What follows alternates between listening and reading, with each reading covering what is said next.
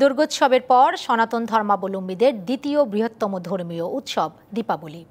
অন্ধকার এবং অন্যায় দূর করে শুভ ও কল্যাণ প্রতিষ্ঠায় আলোকসজ্জায় সেজে উঠেছে রাজধানীর বেশিরভাগ মন্দির প্রাঙ্গণ। একই সঙ্গে বাড়ি, ব্যবসা প্রতিষ্ঠানও সেজে উঠেছে সারি সারি প্রদীপ আর মোমের আলোয়। পুরাণ মতে, অন্যায় অত্যাচার দূর করতে মা কালীর মর্তে আগমন। দুষ্টের দমন আর শিষ্টের পালনের বার্তা দিতে আসেন দেবী। স্বাস্থ্যবিধি মেনে মণ্ডপ প্রাঙ্গণে এসেছেন ভক্তরা।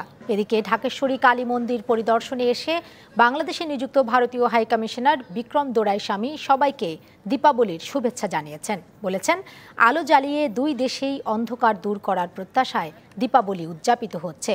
পরে মহানগর সার্বজনীন পূজা কমিটির হাতে মাস্ক এবং স্যানিটাইজার তুলে দেন ভারতীয় high commissioner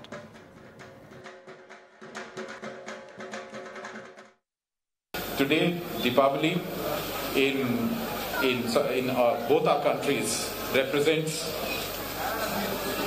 the using of light to dispel darkness.